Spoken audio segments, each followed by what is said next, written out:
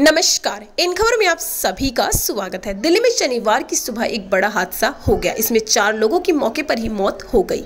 ITO के पास ring road पर हादसा हुआ। एक कंटेनर ऑटो पर गिर गया। बता दें कि एक ऑटो में चार लोग सवार थे। उन्होंने मौके पर ही दम तोड़ दिया। जानकारी के मुताबिक कंटेनर चालक मौके से फरार हो गया। हादसे के बाद मौके पर लोगों की भीड़ जुट गई। घटना की सूचना तुरंत पुलिस को दी गई। पुलिस ने इस केस में एफआईआर दर्ज कर ली है। फ़िलहाल हादसे में मारे गए ऑटो सवार चारों लोगों की पहचान नहीं हो पाई है। पुलिस उनकी पहचान की कोशिश में जुटी हुई है।